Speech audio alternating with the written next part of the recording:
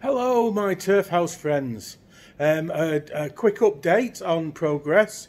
Um, since I last posted a video, we've had Christmas. Um, New Year hasn't happened yet. Um, I've been in quarantine for um, eight days.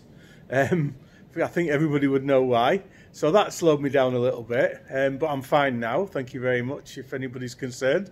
Um, so yeah, without any further ado, I'll show you around and, and we'll have a look at what I've managed um, to progress. Okay, so today I have fiberglassed the walls. So um, it was a bit of a major operation. It's quite a big area, as you can see.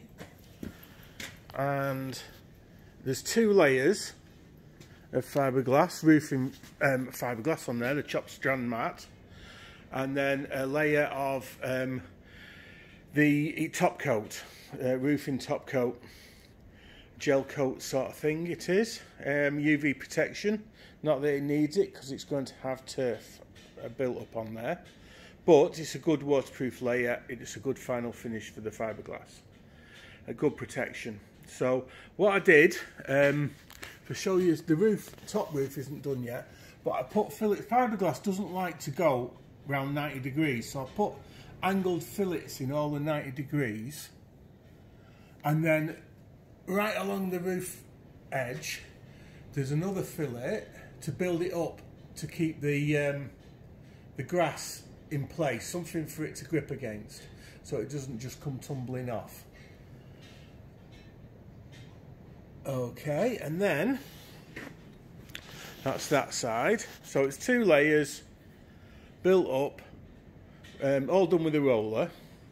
And then the other thing, bit of progress I did um, was to put these windows in. Um, so they're actually not glass.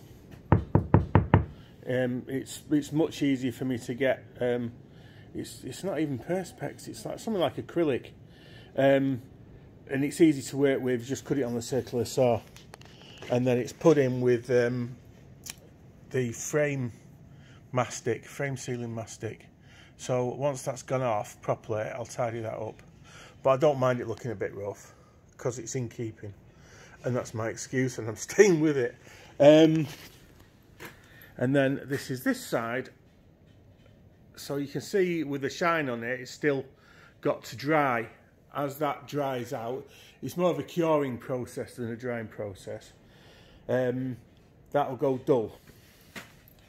So you know when it's when it's off, the dullness will come on. Okay, so that's you up to date with the progress. Thank you very much for your interest. And um, the next job is for me to do the roof, which uh, is going to be another major operation. Thank you very much. Bye now.